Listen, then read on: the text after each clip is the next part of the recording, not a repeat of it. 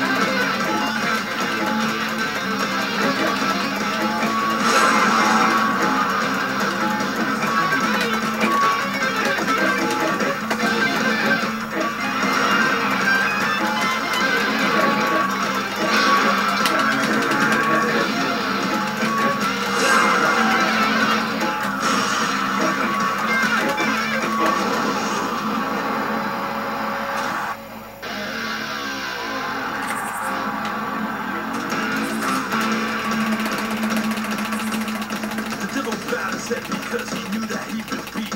He laid that golden fiddle on the ground at China's feet. China said,